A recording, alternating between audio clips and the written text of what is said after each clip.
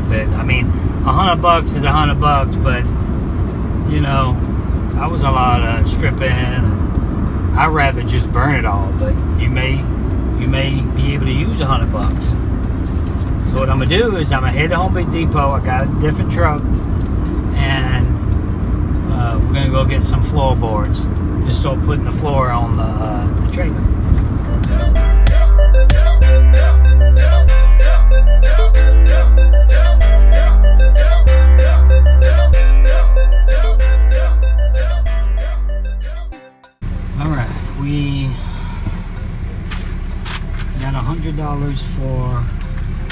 The tin and the wood and bolts and brackets, ninety-two dollars.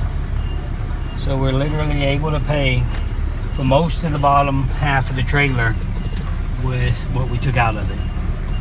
It's pretty good. I mean, you know, it's just a hundred bucks, but geez, it works.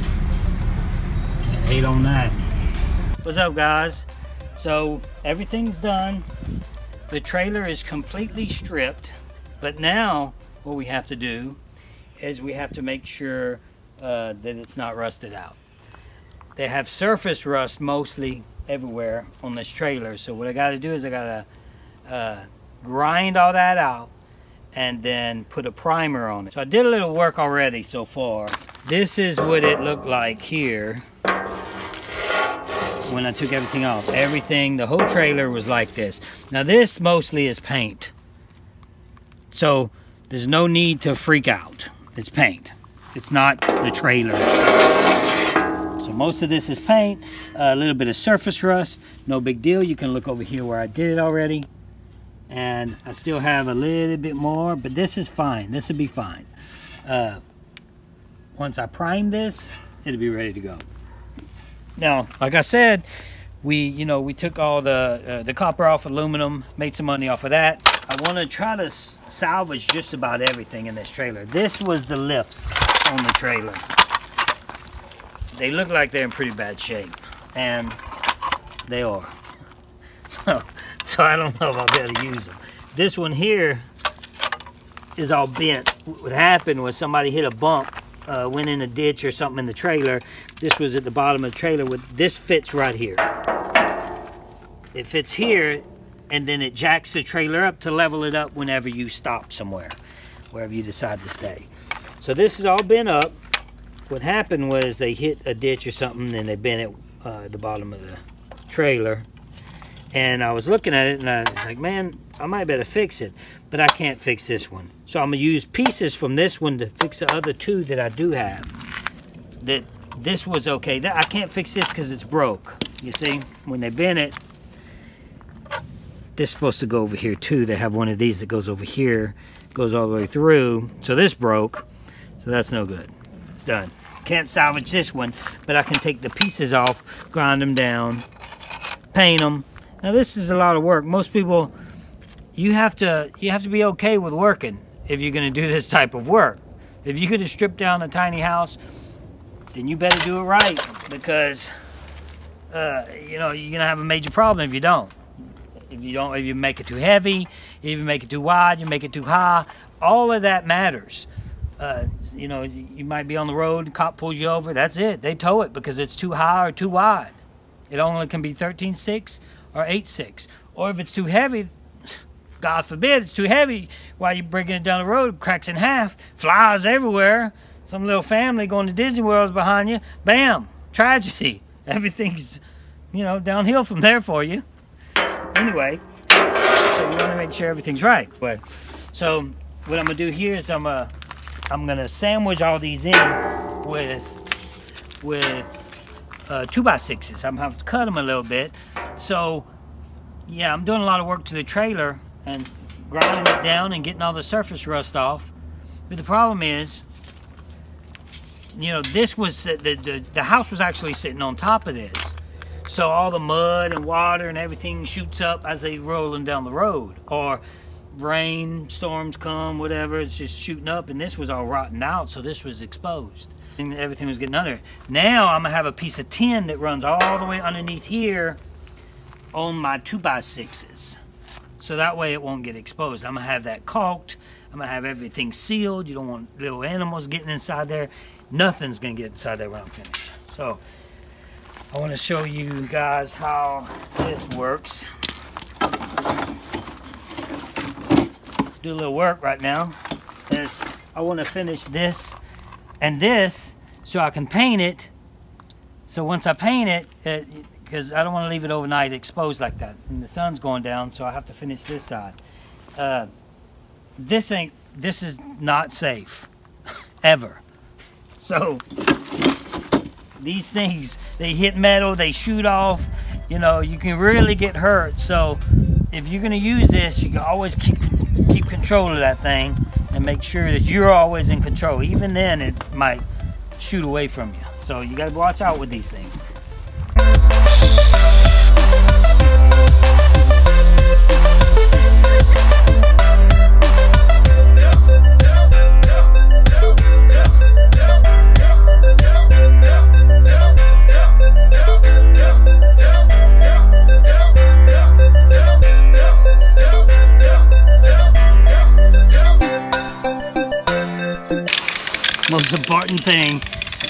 Your safety goggles.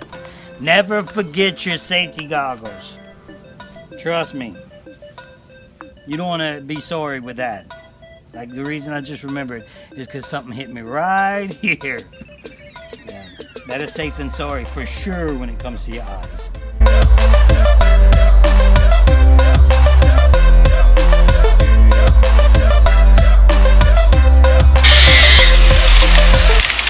Don't have to grind it all the way down to the like extreme metal. Just take the surface rust off and then make sure it's it's good and you get you a good rust uh, oil base paint primer and then you paint over it. Now this is what I do know. What I do know, I've been in the oil field all my life, is messing with metal. My, my grandfather, my dad used to build tugboats so we mess with metal all our life. Matter of fact, I'm welding another beam here, welding one here, and cutting that battery, that battery thing off. I'm gonna use the pieces for the battery, the, the pieces for the battery, uh, where the battery sat right there, for my extended. I'm gonna extend the little pieces to make the outside stronger.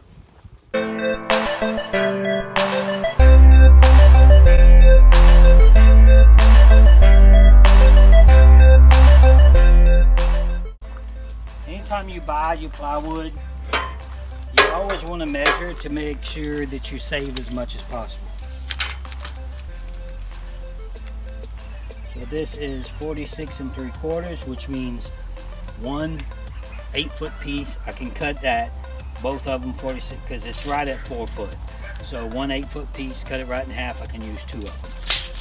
So this actually would take one, two, two and a half, eight foot pieces, which I have.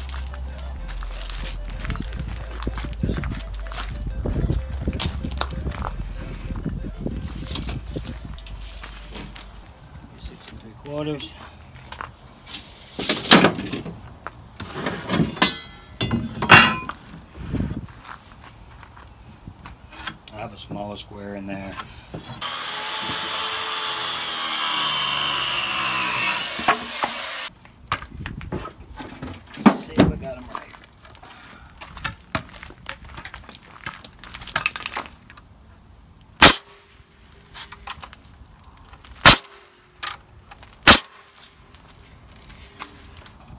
I'm gonna have some brackets that's holding these all together. So that's what's really gonna hold it together, not these nails.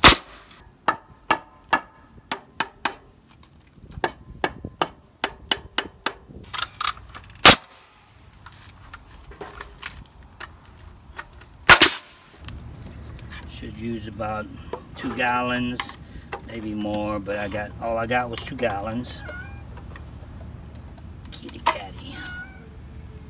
She must be hungry. Okay.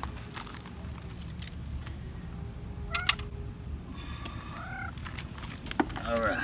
Oh, I'm spray her if she don't get down. Spray her ready? stopped. It's ready to spray.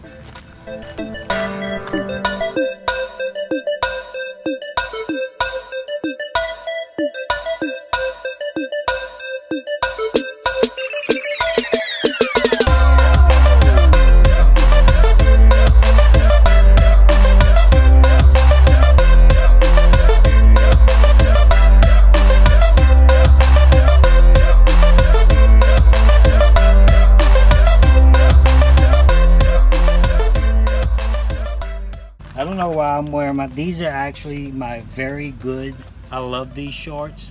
I have no clue why I'm wearing my good shorts and then I spilled paint all over them. And these sandals weren't so bad either. But I don't know why I don't have my good shoes on. You know, and my dog's white, I might as well paint him too, huh? Because uh, this is how I end up looking. So I'm gonna I'm gonna fix myself. Do not. This isn't healthy for you. Do not try this at home. It burns. But there's no other way to get it off my toes. And it's sticky. It burns a little bit. Do not do this. I'm a professional. Anyway, guys, appreciate you watching this episode. Episode two is gonna be exciting. We're putting the floors, putting the, the walls, the roof, all that good stuff. Uh, I just wanted to finish up this episode too. So please subscribe, like it, comment below if you don't like what I'm doing. If I'm doing something wrong, let me know. Besides this, I know this is wrong. Do not do this. Seriously. So now I gotta clean my gun and all that stuff. So we'll see y'all later. Keep up alive.